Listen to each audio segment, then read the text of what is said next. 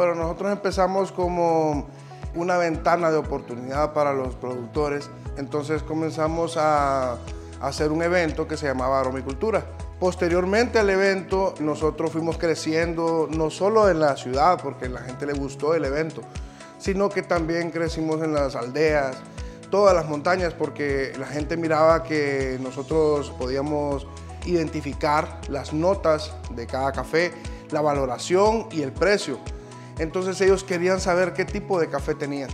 Entonces a través del tiempo nosotros fuimos ya buscando más actores que nos puedan apoyar para poder darles eh, esa ventana de, precios que nosotros necesitamos. Heifer nos ha apoyado muchísimo en el tema de la organización eh, empresarial también, apoyos eh, a los eventos, nos han ayudado a acercarnos a varios mercados, hay capacitaciones por parte de ellos,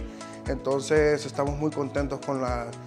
lo que nos han podido brindar ellos, porque no solo es el tema de un apoyo económico, sino que también el acompañamiento como empresa a empresa para que nos ayuden a crecer. Todos tenemos una marca como tal, pero personal, pero ahorita el proceso que queremos es tener una marca de lo que es aromicultura, para no solo vender los cafés de nosotros, sino que poder comprarles a los mismos productores y ser los compradores de esos emprendimientos familiares que tienen cada unidad productiva en las montañas y poder tener lo que es eh, la marca Aromicultura, pero puesta en supermercados y en otros países, pero que, se, que sepan que la denominación de origen de ese café sea el Empira.